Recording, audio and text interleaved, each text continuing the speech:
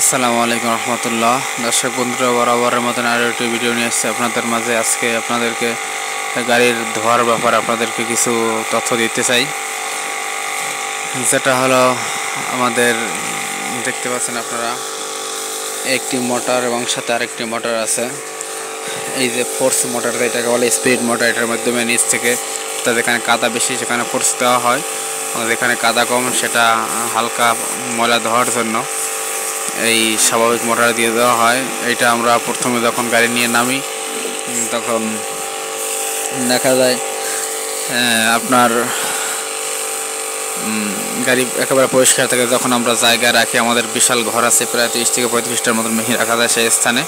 এবং সেখানে রাখার আগ পর্যন্ত যখন রাখার আগে আমরা গাড়ি পরিষ্কার করে ধুয়ে নেই এবং মোবিল দিয়ে মোবিল দিয়ে